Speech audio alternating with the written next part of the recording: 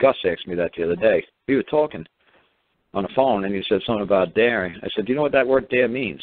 He's like, "Well, the judge said something about dare, or daring, or some, he heard somebody say dare." I said, "You know that means to bear liability for, uh, like in a con- in contract law, that you're the one who's willing to assume the liability of the debt."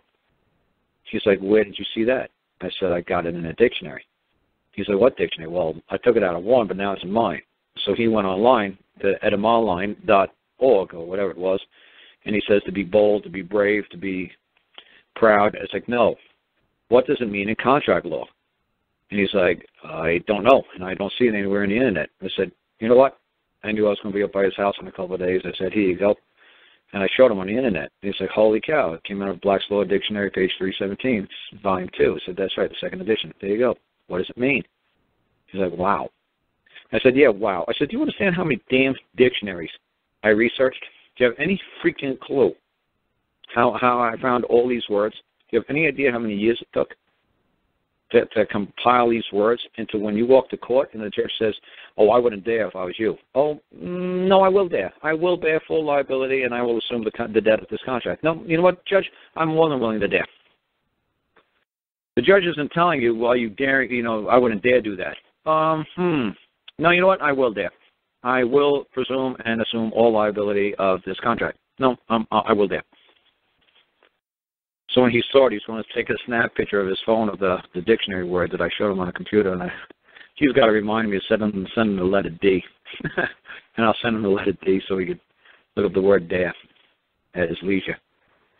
But uh, that's what I'm saying. The, the amount of words and definitions I found, what these word nerds are coming at you guys with, and they, that's all they're doing. All the judges are doing to you guys, they're, they're playing crosswords with you. They're crossing your words.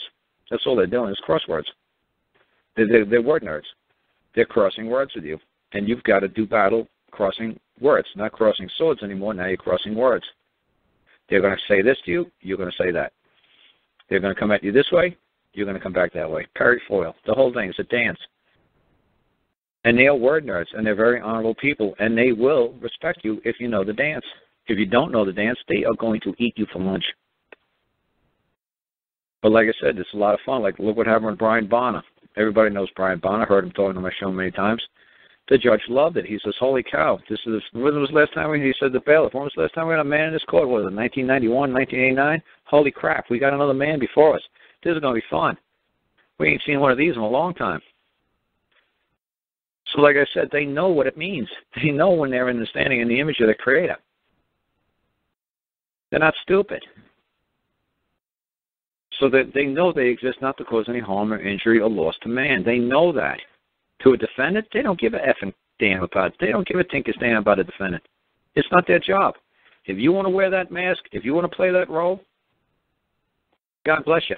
Take on and, and get an ass whooping as a defendant because you're the punch and Judy. You're the punch and you're the, you're the you're the punchy. You know, if you want to take on that role, God bless you.